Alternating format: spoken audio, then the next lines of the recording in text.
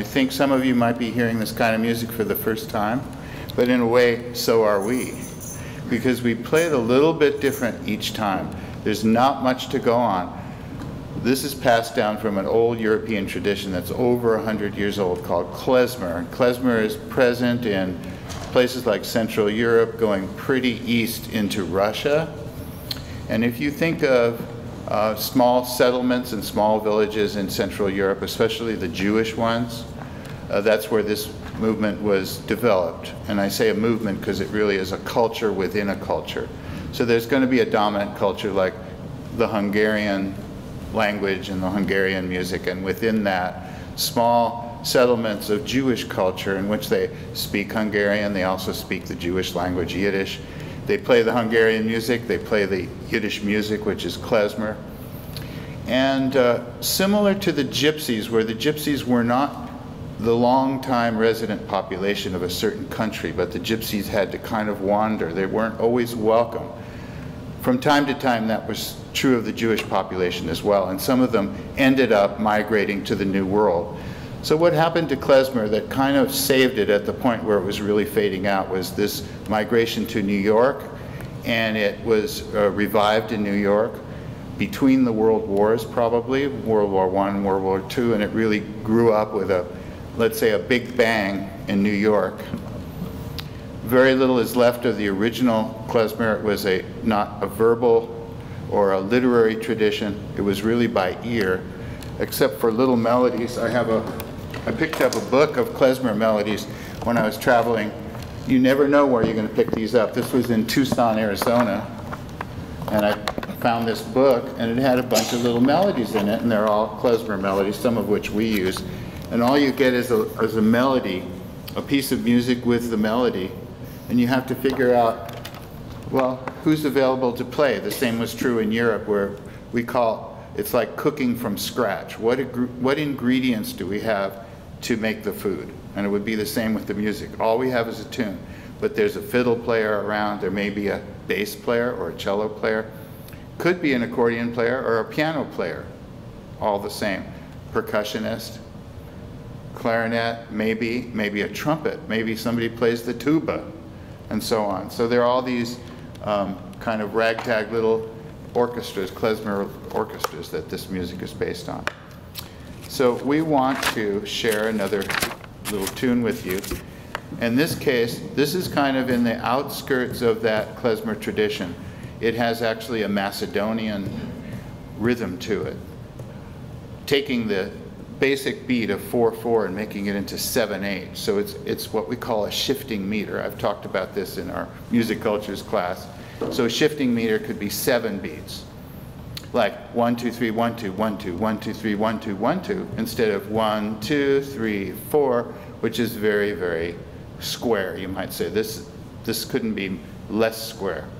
And uh, our singer, Rebecca, is here to sing the song. It has words, and um, I believe it's in an ancient uh, Spa uh, Spanish Hebraic dialect called Ladino. Is that right, Rebecca? So this should be fun. It's called Un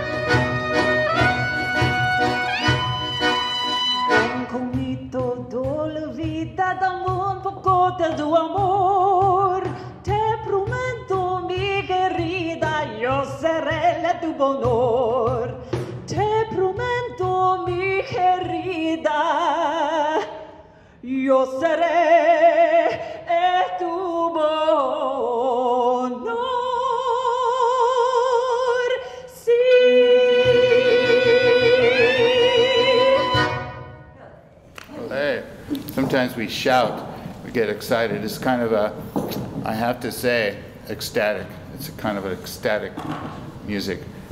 As you play, we may only play a few tunes tonight, but uh, as you play, you get more warmed up and you want it to go on. If you could possibly play all night, you'd be gathering strength. You're kind of charging your batteries from the excitement of this music.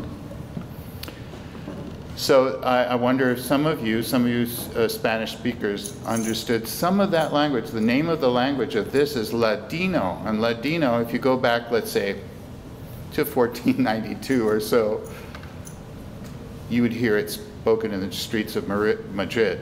So before the Inquisition and before uh, Queen Isabella and Columbus, a little bit before, Arabic could be spoken in, especially in southern Spain, uh, Ladino, of course, Spanish. And then the gypsies had slowly started to filter in, and their language was a, a combination of Spanish and Sanskrit because they had originally come from India at, at about the time of the millennium. And you don't have to take notes on that. That's, it's, it's a little bit of geography, a little bit of history, as well as the culture and the music, but the whole point is to enjoy the music. So we're going to go back to our, our little band now. Thank you for the lovely, lovely voice of, of uh, un. And does that mean a bouquet or something, un boqueto? Yes. Uh, any other hint about what that song is saying? Sure, yeah. So she's saying, I gave you a bouquet and you gave it back to me. And so you should be careful because you're coveting another woman who's married. Leave her be, come to me, I will love you. Amazing. All that in seven eight. Okay. and all that in seven eight. And that that rhythm is from macedonia which used to be it's it's the closest thing to greece. It's called one of the baltic the balkan countries actually. Uh, so now we're going to play a piece called sammy's frelach now the word frelach the closest thing we have in english is the word frolic. And you'd kind of find that in let's let's say Elizabethan times, we don't always say we're frolicking. We're kind of happy. Well, I don't think so. It would be like the old word merry, the merry frolickers or something like that. And this is another merry piece. It might be played at a wedding. People are already really pumped up and excited, and this would get them on, onto their feet and dancing. Not real dancers. Again, this is the culture. This is sort of a spontaneous eruption of, of everyone. So this is Sammy's Frelach. I have to take a moment to get ready to play this huge instrument. I don't know if you've noticed, this left hand is, it's very strange. There's 120 buttons on this. It's like a 120 piece puzzle and they're all exactly the same shape piece.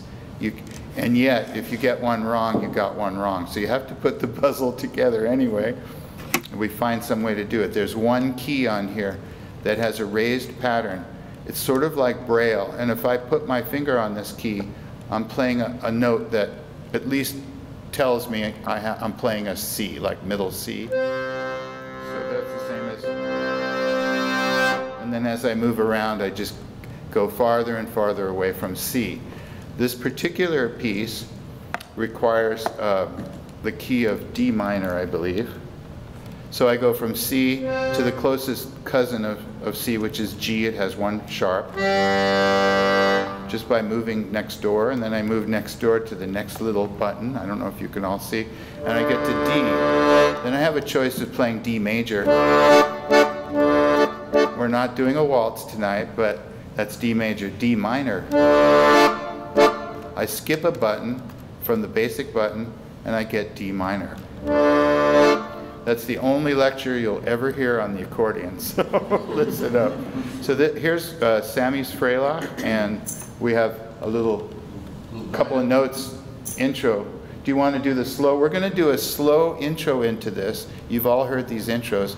It's called a doina, and it sort of just wakes up, you know, the instruments. This is something you could play, you know, the first song in a set or something like that. So we'll start with the slow part and then immediately go into the gallop, okay?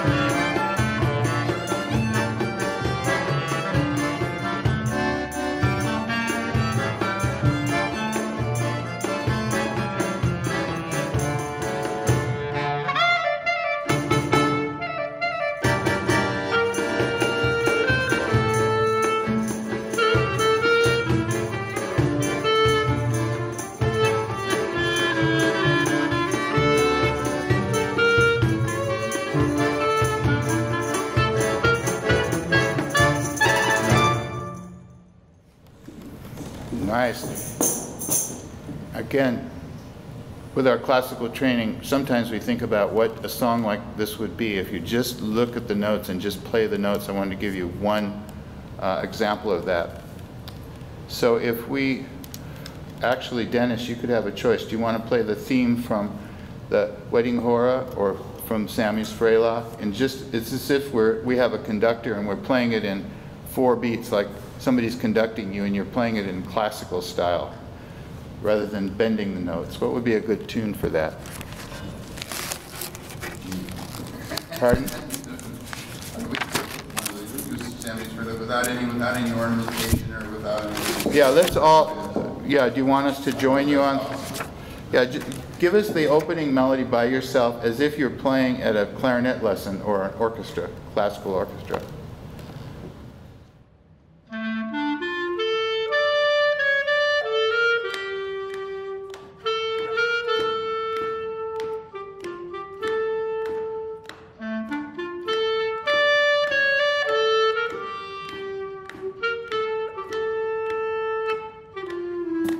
See, that's all very acceptable, classical sounding. It's fine. Our whole band could actually play like that. Uh, compared to the klezmer, it's a tiny bit robotic. Now play it again where you really bend it and give it that klezmer flavor to it.